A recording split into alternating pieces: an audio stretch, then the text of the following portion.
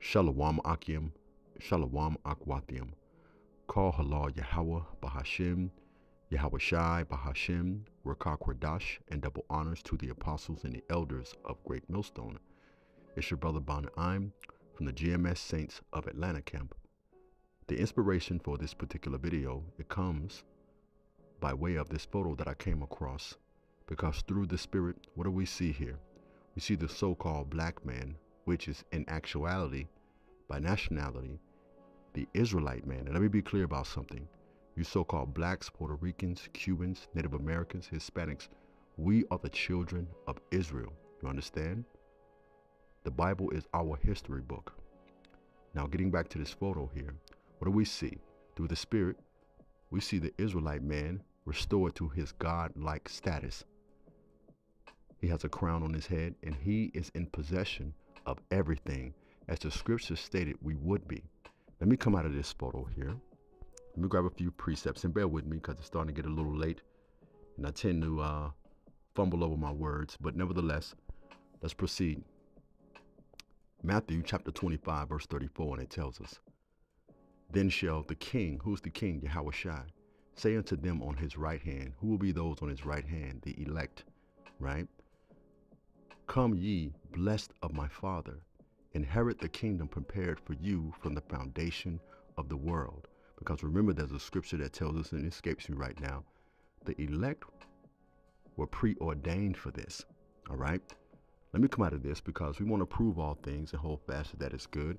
How do we know that the world and the fullness thereof has been created for the children of Israel.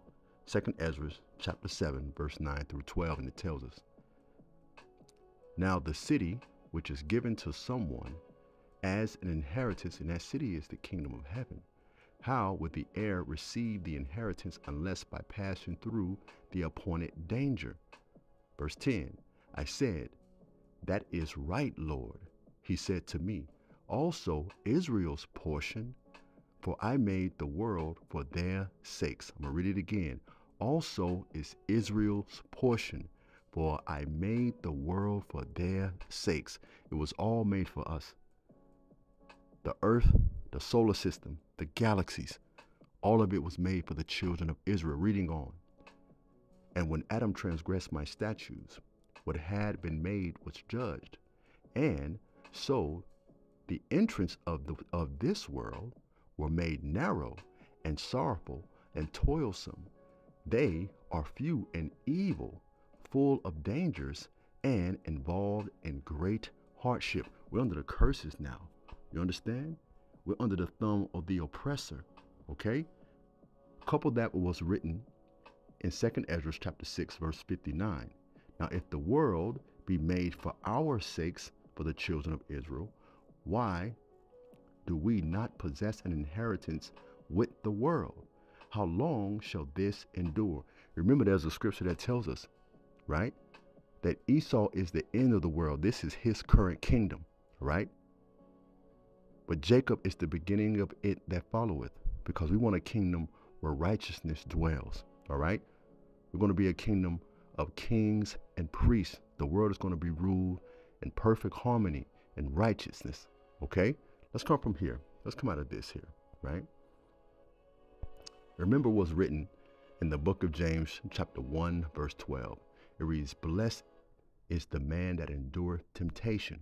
Because as I mentioned previously, you know, we all tempted in various ways. We're under the curses, so on and so forth. All right? When you come into this truth, you become more wiser. Things become more likened unto a burden unto you because there's a wisdom that maketh the man angry because you begin to comprehend why you're in the condition that you're in, but you must endure. All right? Well, read it again. Blessed is the man that endureth temptation, but when he is tried, he shall receive the crown of life, the immortality, the new body, the kingdom, and everything that comes with it, which the Lord has promised to them that love him. All right? The scripture that comes to mind next is Eyes haven't seen, ears hasn't heard all that Yahweh why Yahawashi has to reveal to those that love him. All right? Continuing on.